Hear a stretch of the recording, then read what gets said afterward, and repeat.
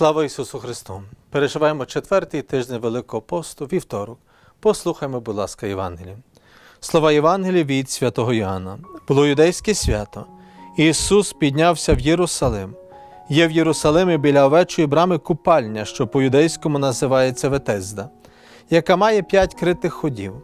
У них лежало багато недужих, сліпих, калік, сухих. Був же там один чоловік, який 38 років перебував у своїй недузі. Ісус, побачивши його, як лежав, і знаючи, що він уже багато часу хворіє, сказав йому: Чи ти хочеш стати здоровим?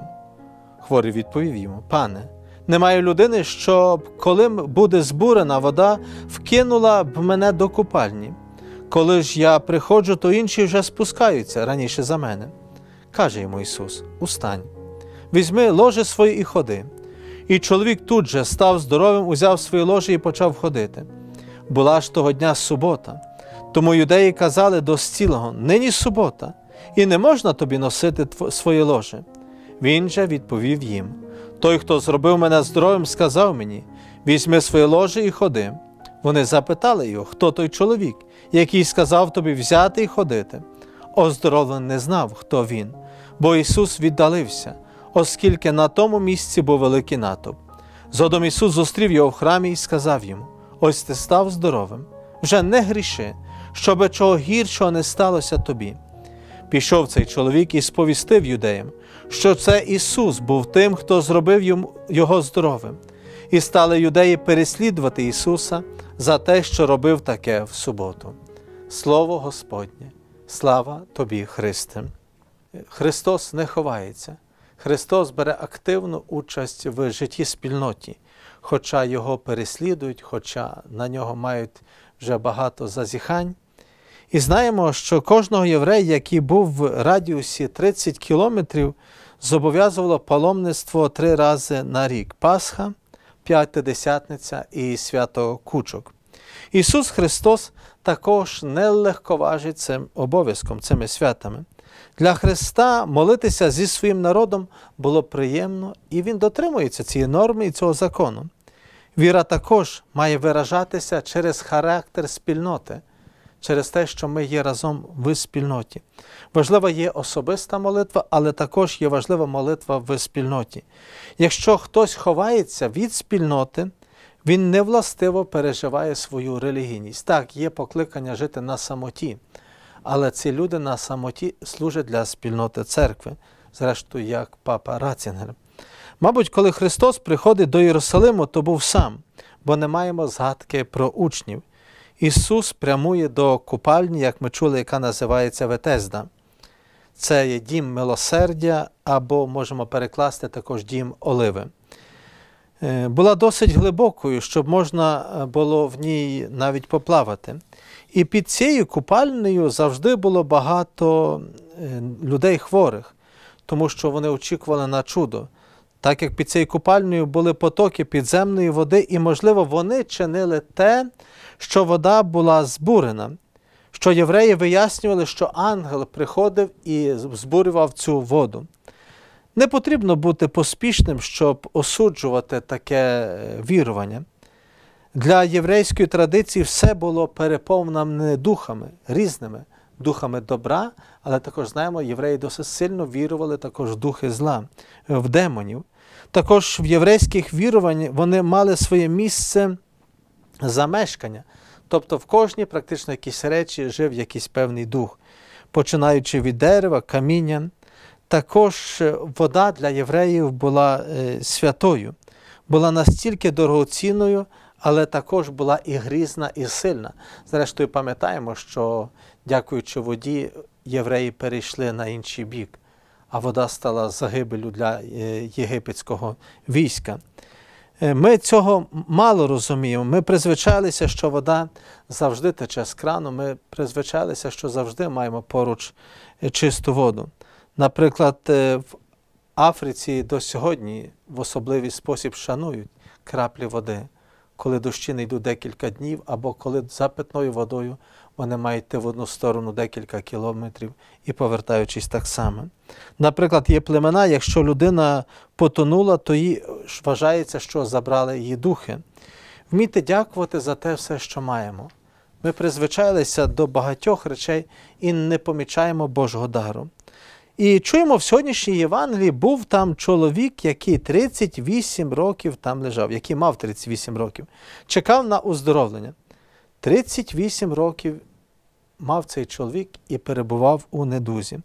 Приходить Христос і ставить, здається, досить дивне запитання. Чи ти хочеш стати здоровим? Господи, ну здається, нелогічним, якщо ця людина хвора є тут, то звичайно, що хоче. А можливо, моя хвороба є мені зручною.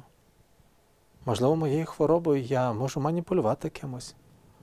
Можливо, я настільки призвичаюся до своєї хвороби, що я не бачу життя без неї. Тут не йдеться лише про хворобу тілесну, потрібно це зрозуміти.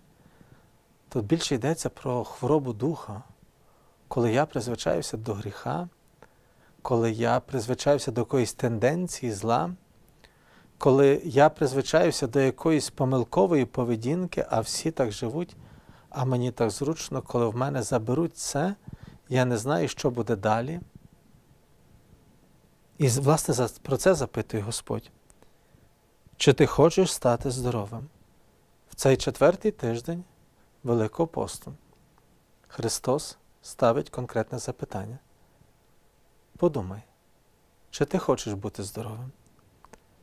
Господи, 38 років мені. Напевно, хочу. А цей чоловік говорить: пане, немає людини, щоб коли буде збурена вода, вкинули мене до купа. Немає людини. А чули ми в сьогоднішньому далі фрагменті місце це був великий натовп. Немає людини. І це є трагедія цієї людини. І це є трагедія цього хворого чоловіка. Він є в натовпі, є багато людей. Немає людини, немає нікого поруч. Дай Бог, щоб в нашому середовищі, в нашому суспільстві не було людей самотніх. Можемо жити поруч в натовпі, але немає людини, яка б мені допомогла. За 38 років не було нікого, хто б йому допоміг, хто б його запитав, може, ти потребуєш допомоги?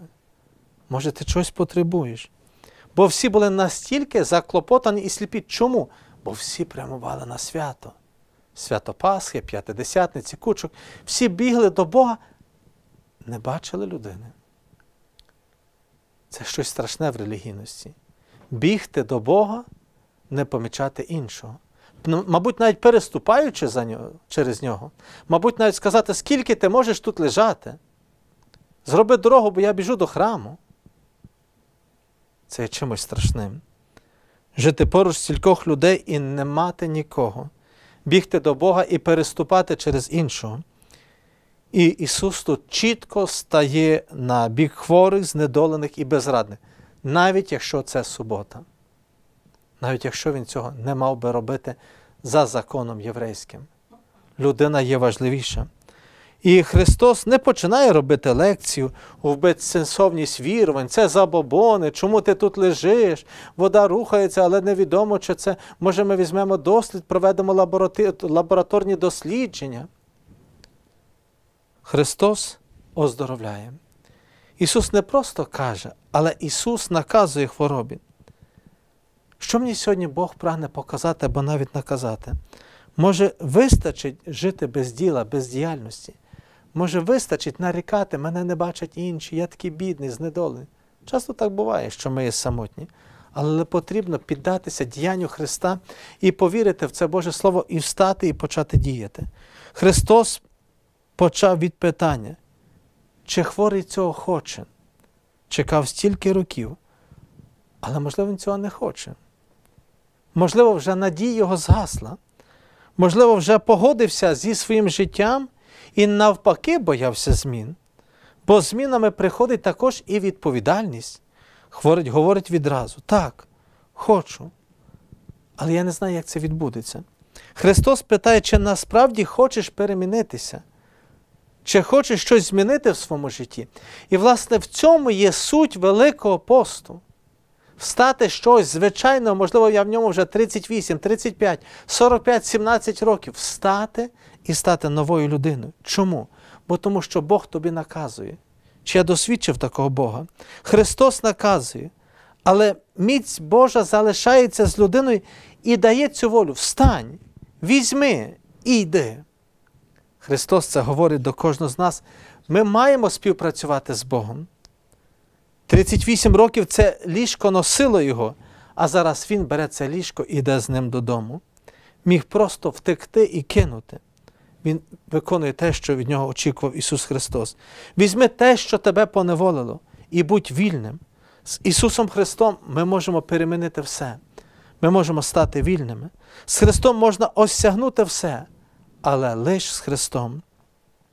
38 років це майже час мандрування по пустелі єврейського народу, коли єврейський народ починає входити в обіцяну землю.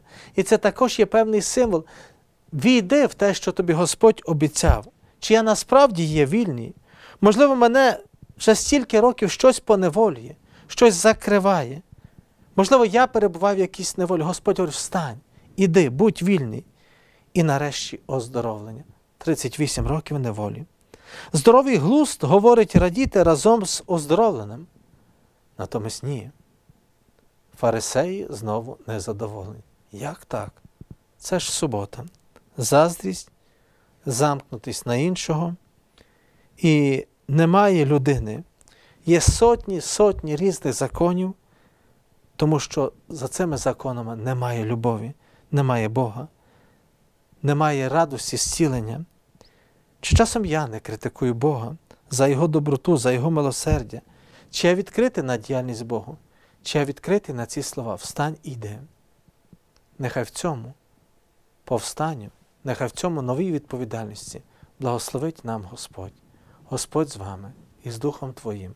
Нехай вас благословить Бог Всемогутній, Отець і Син, і Святий Дух. Амінь.